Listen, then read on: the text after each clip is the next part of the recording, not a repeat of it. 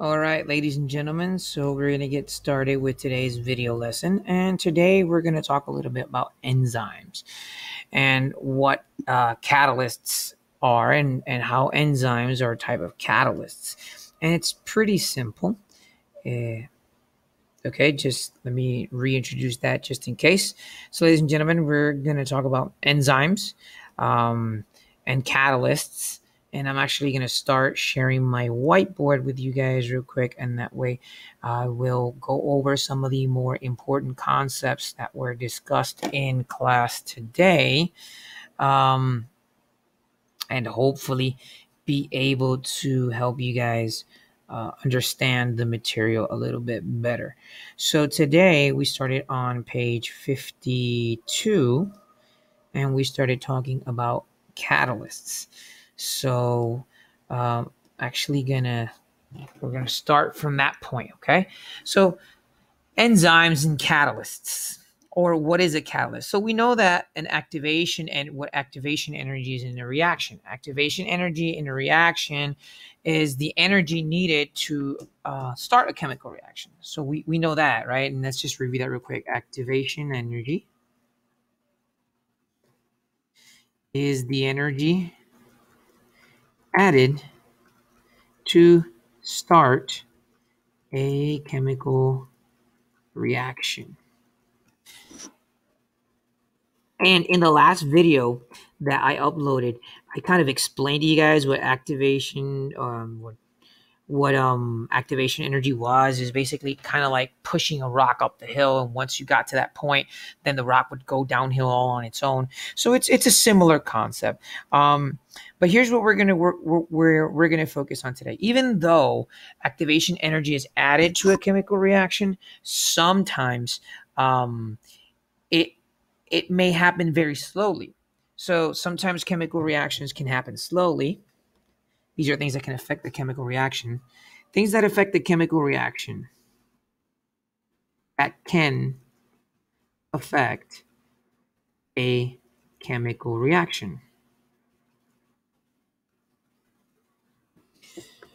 One is that um, it may happen very slowly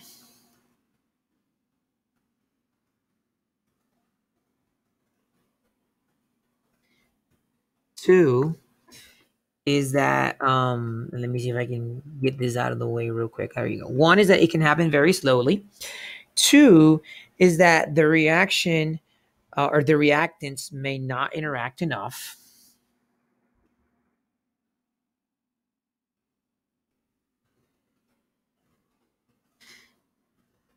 Interact enough Oh. apparently I was typing and it wasn't typing back. There you go. Sorry about that. The reactants may not interact enough.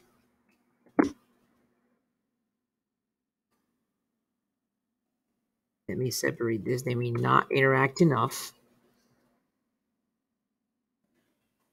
Um or there may not have a high uh, enough concentration.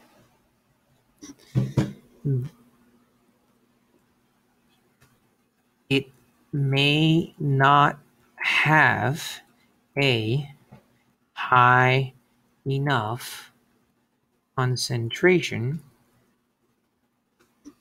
May not have a high enough concentration um,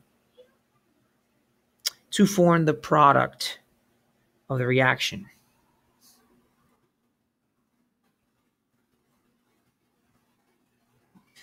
Of a reaction.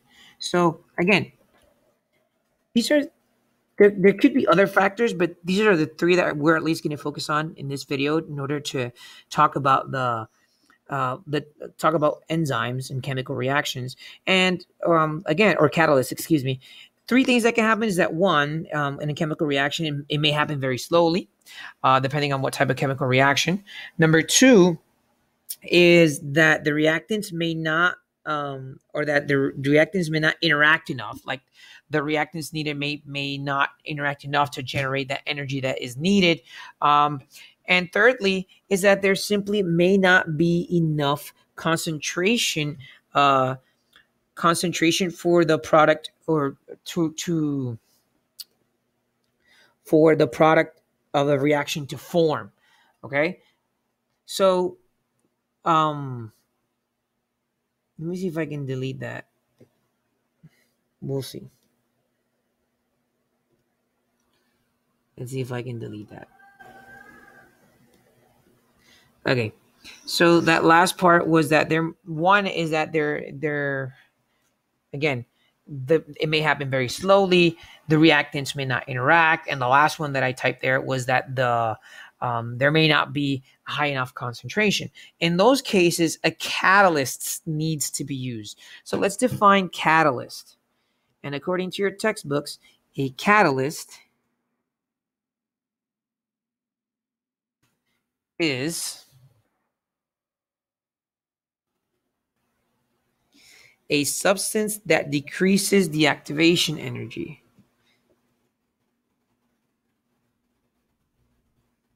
That decreases the activation energy.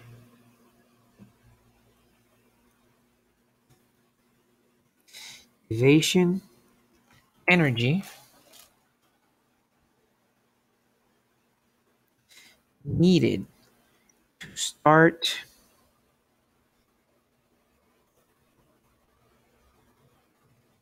a chemical reaction. Okay, so a catalyst is a substance that is that decreases the activation energy.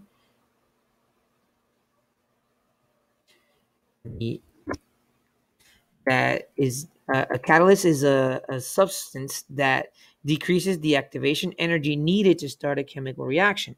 So, what a catalyst does is it decreases the activation energy so that way the reaction can start. And I'm going to try to explain that with the diagram or try there's a diagram on page 52 i believe of your textbook that kind of tries to explain it. So i'm actually going to go ahead and see if i can do it. And let's say we have a chemical reaction. As we know activation energy um activation energy is the energy needed so that the reaction can start. So it'll it'll it, it'll start the reaction then it'll have kind of like this curve or this bell-like curve and the reaction is going to occur of course until it's in equilibrium especially if we're talking about uh, a reaction in living organisms right? And we know that let's say this arrow that I'm about to draw actually represents actually represents the activation energy needed. So I'm going to abbreviate that abbreviate that excuse me as activation energy A E.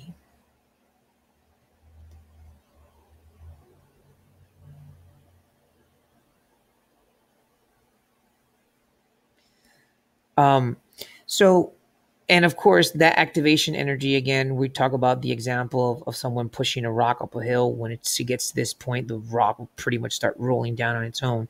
But what a, a catalyst does is kind of the opposite. So, what a catalyst does is it it diminishes, it reduces the activation energy needed. So a catalyst, and we'll talk about enzymes in a minute, which are specific types of catalysts. A catalyst basically does this. It decreases the activation energy and it lowers like the curve, or, or at least in this case, it's being represented by a curve. It's like I was saying in class.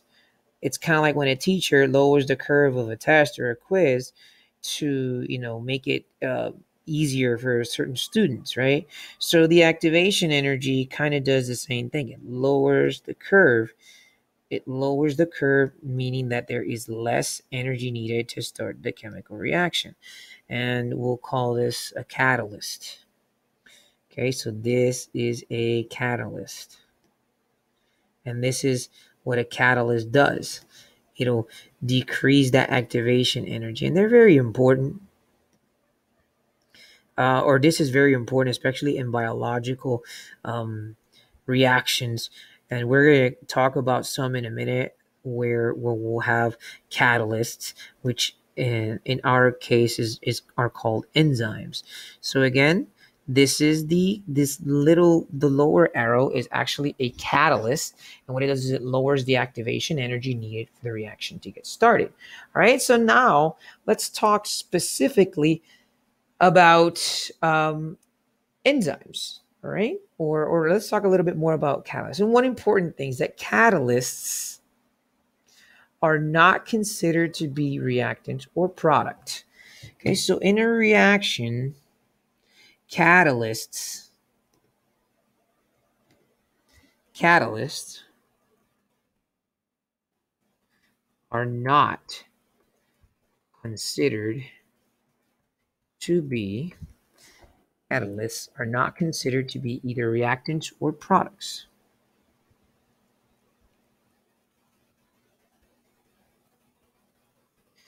Or products. to be either reactants or products because catalysts are not changed during a reaction.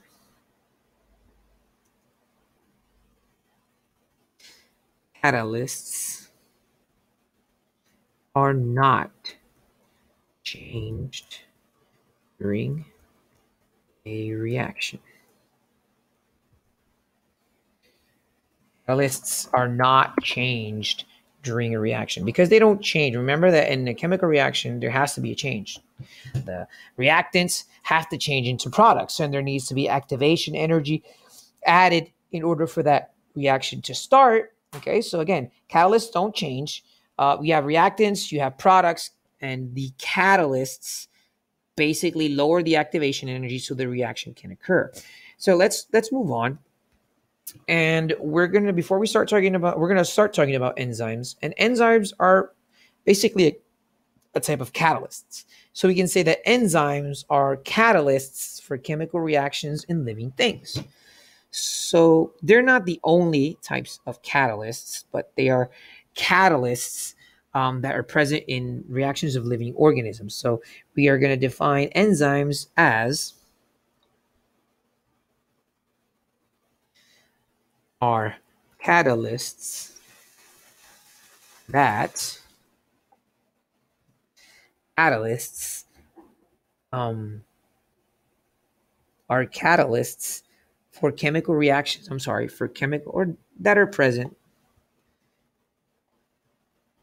in chemical reactions in living organisms. Okay, so enzymes are not the only type of reactants. However, enzymes are reactants or are catalysts, excuse me. Enzymes are not the only catalysts, but they are the catalysts that are present in um, living organisms. Okay. Okay. And speaking of enzymes, there are specific or, or special types of, of uh, catalysts. And it says that in reactions uh, that are reversible or in reversible reactions,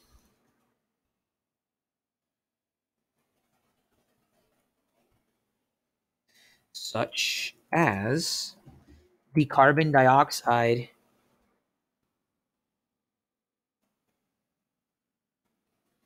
and the um, carbonic acid reaction.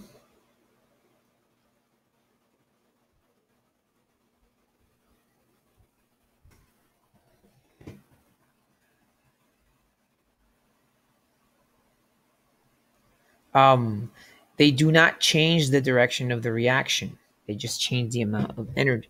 So enzymes in reversible reactions such as the carbon dioxide and the uh, carbonic acid reactions, enzymes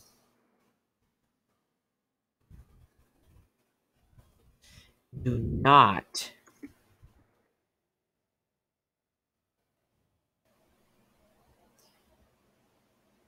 they do not change the direction of the reaction. Enzymes do not change the direction of the reaction.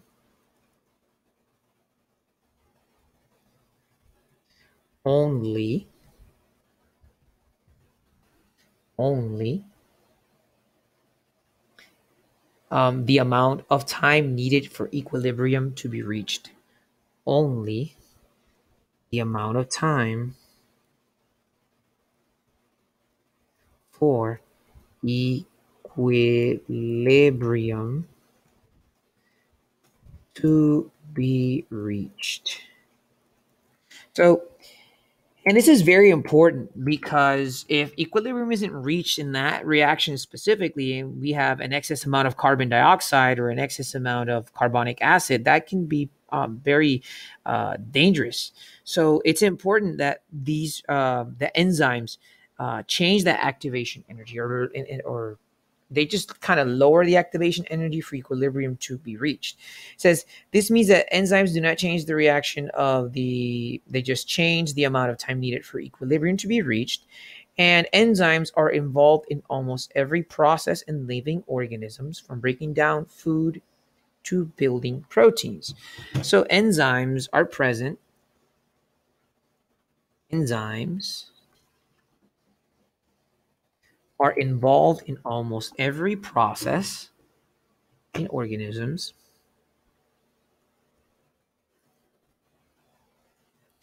In almost every process in organisms.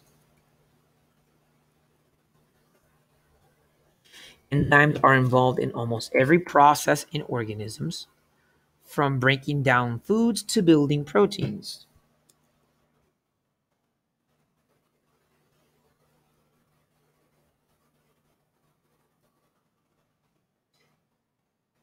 To building proteins. To building proteins. For example, or an example of this, enzymes in saliva enzymes in saliva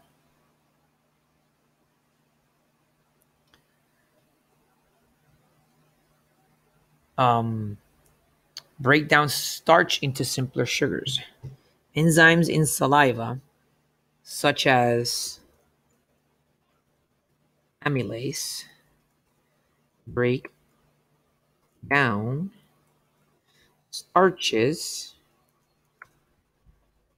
into simple sugars.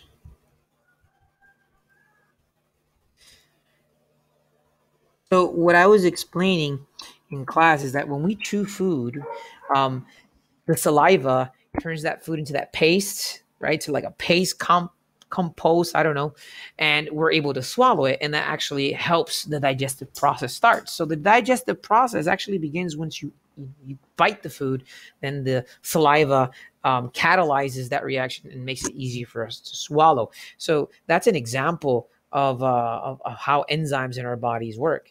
Uh, another way is that they're important in our immune system, okay? Specifically in binding sites. We're going to talk about that in a minute. So enzymes are also important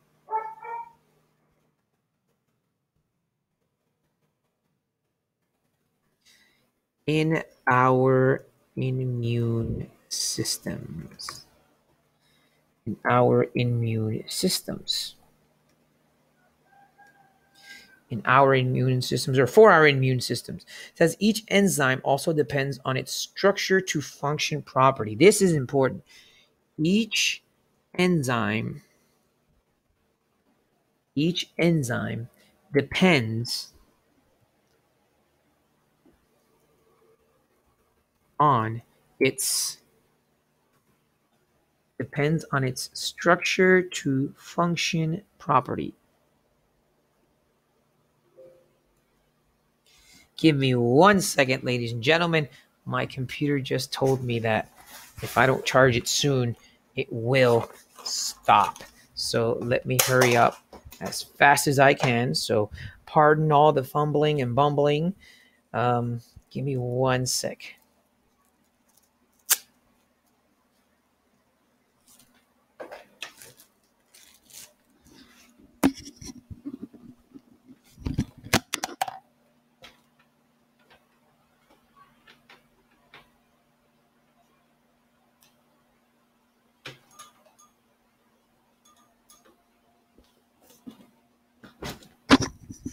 And we're back. Pardon that awkward silence. I uh, forgot that my computer needed to charge. Okay, so as I was saying, each enzyme depends on its structure to function property.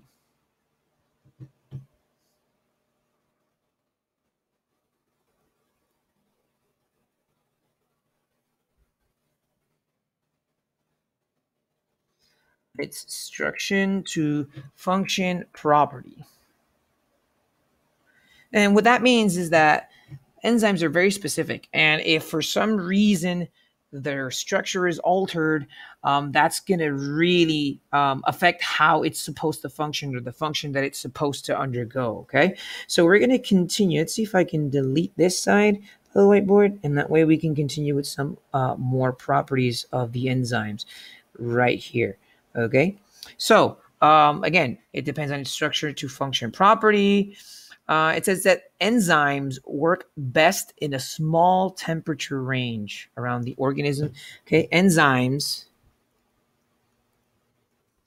That means that they're very heat sensitive. Enzymes work best in a small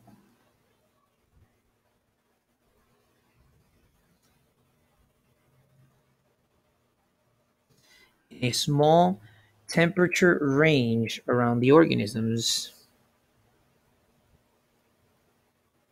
around the organisms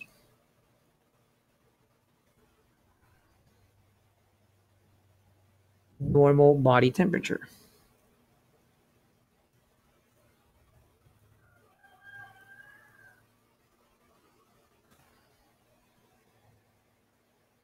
Enzymes work best in a small temperature range around the organism's normal body temperature. And I was explaining uh, to to you guys in class that, for example, and I gave you a small example. This is not the only one, but when you get a high fever and your mouth gets dry, um, you know, you need to drink water. You need to stay hydrated. If if you don't have access to water and you try to eat, it's going to be almost impossible. It's not that it's not going to happen. It's just going to be very difficult for the digestive process to begin because the saliva, um, which is in our mouths, uh, you know, pretty much dries up when our when our body temperature is really high, and it's going to be really hard for us to to swallow and to start that digestive process.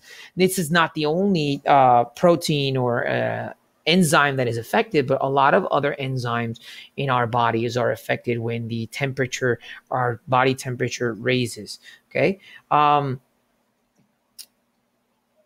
it says many uh, enzymes in humans work best nearly by a, at a nearly neutral pH.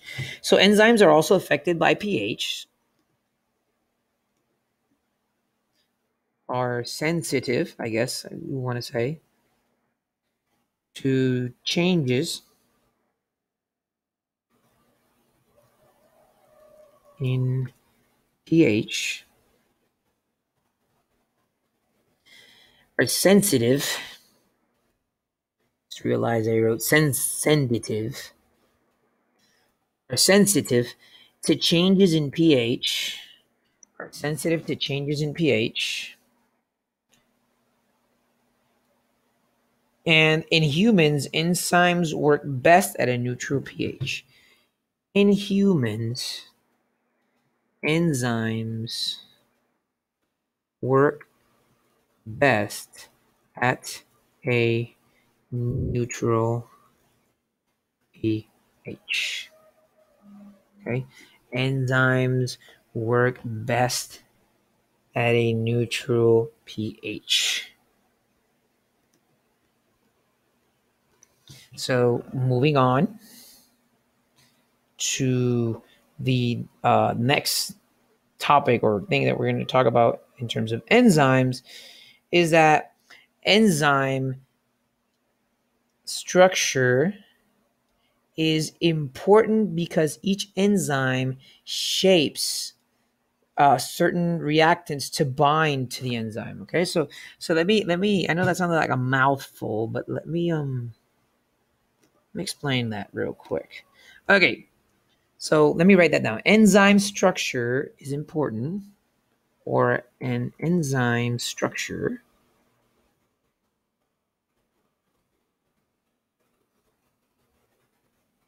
is important important because each enzyme shape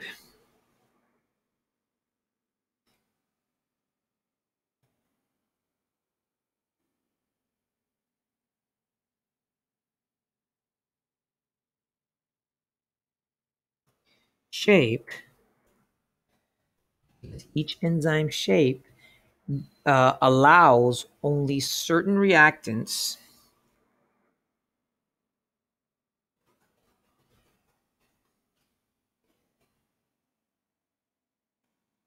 allows only certain reactants to bind to the enzyme.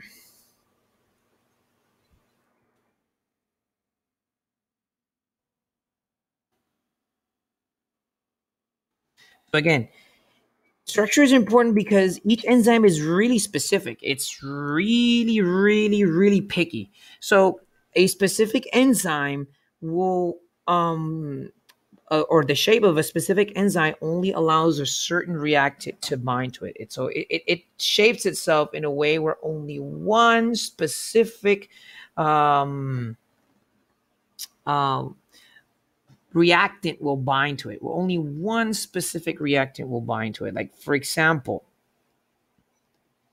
let's say the enzyme has this weird shape.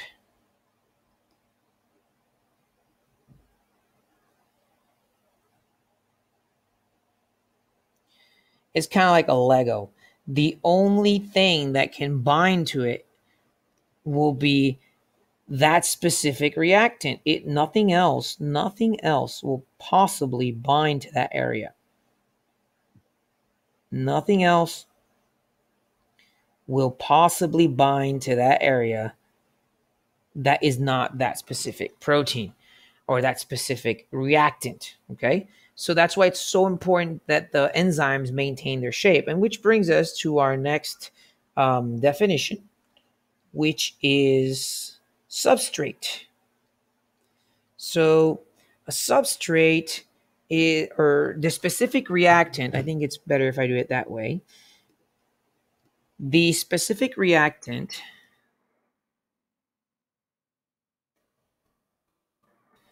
the specific reactant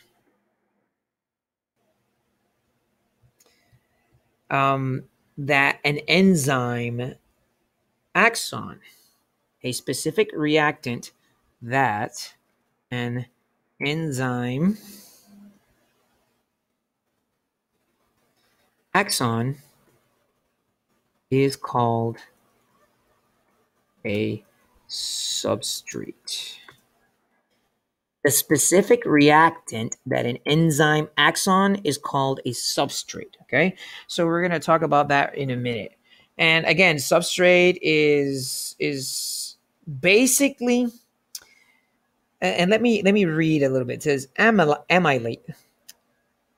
Amylase only breaks down starches. Um, therefore, starch is the substrate for amylase.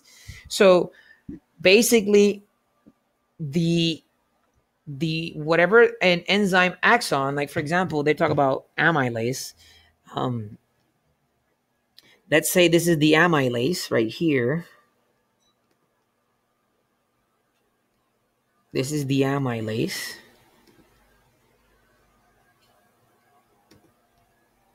Right here, this little red one.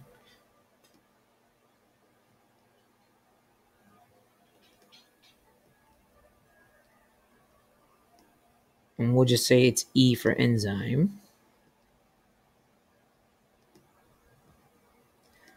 And this right here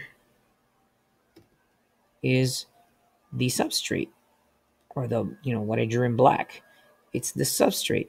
So the red, the enzyme, acts on a specific substrate and whatever it whatever the enzyme is acting on is what we call the substrate okay so um, one thing that we discussed in class is the key lock model and basically the key lock model which we're going to discuss right now um, states that let's see. Uh, okay, I'm sorry, I got lost there for a minute. It says substrates temporarily bind to enzymes at specific places called active sites. So let's let's write that down. Right. Whoop. Sorry about that.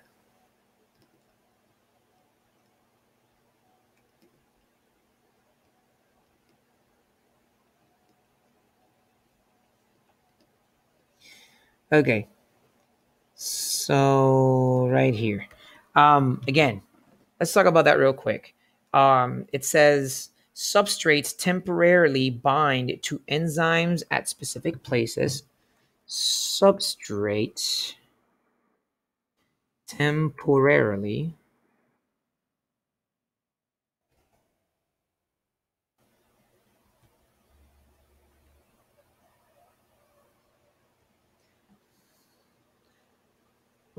temporarily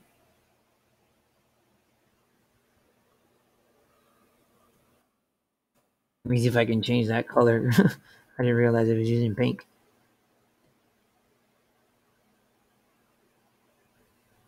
I think that one like it, it, it'll blend a little better.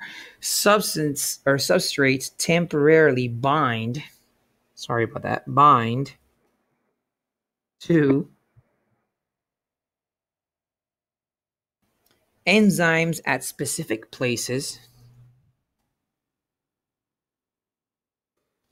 at specific places called active sites. So if we go back to this very rustic, to say the least, um, drawing here, you see this little indentation Mm, let's see if I can use a different color. Uh, let's see if I can use this blue. This little indentation here that I drew, which is kind of like where it's bent.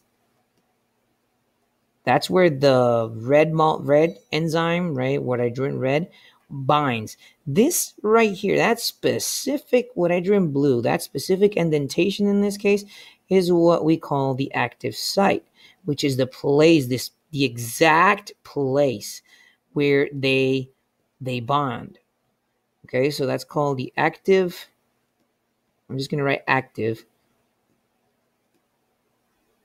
But you guys get my drift. The active site. Okay, the active site.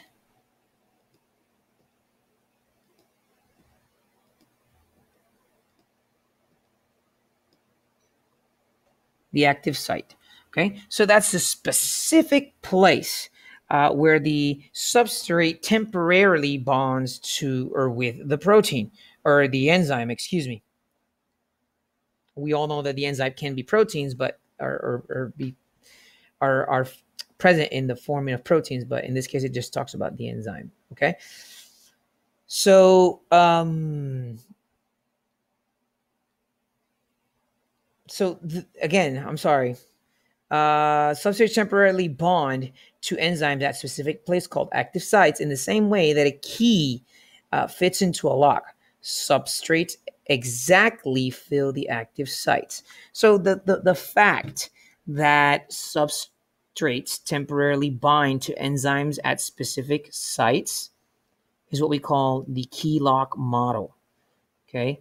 This right here is the key lock model because it's explaining key lock model. It's explaining that the protein, the enzyme, will act on a substrate at a specific active site. At a specific active site. It's not going to be anywhere else that is not that specific site. Okay, so that's the key lock model. And we're going to talk about some of the steps involved in the key lock model and and that will pretty much be it for our lesson. And the first thing that we're going to talk about in the key lock model, or the first step, is to understand that um, enzymes bring substrate molecules close together. Okay, so the first thing is that enzymes. First of all, let me talk. Let me title is. This is the key lock model. We're going to explain that. And we're obviously summarizing it, very general. But the first thing is that enzymes bring substrate molecules close together. Enzymes bring substrate molecules. Enzymes bring substrate molecules close together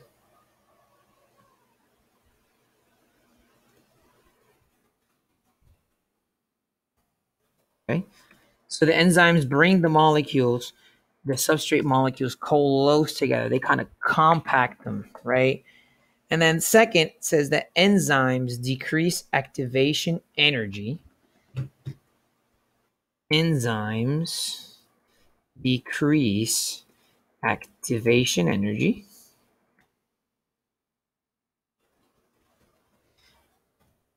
Okay, activation energy. Um, enzymes decrease activation energy. Um, it says that when enzymes bind, or excuse me, when substrates bind to the enzymes in the active sites, when substrates, and substrates bind to the enzyme,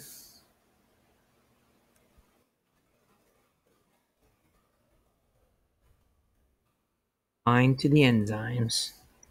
The substrate bind to the enzymes in the active sites. In the active sites. The active sites. The bonds inside those molecules become strained. The bond inside those molecules become strained. The bonds inside those molecules become strained. Okay, so what's happening is that as the the first thing is that the enzyme brings um, substrate molecules close together. So these molecules right here, where the green arrow is, they they come close together then the enzymes decrease the activation energy. And what that means is that the enzyme will will let me see if I can use the marker. Okay. So again, this is the substrate down here where the green arrow is and the letter S. And the first thing is that these molecules are being bonded close together because of the enzymes, right? And then the second thing that happens is that the enzyme right here, the red molecule that I drew, is going to make these molecules very unstable. They're going to strain them.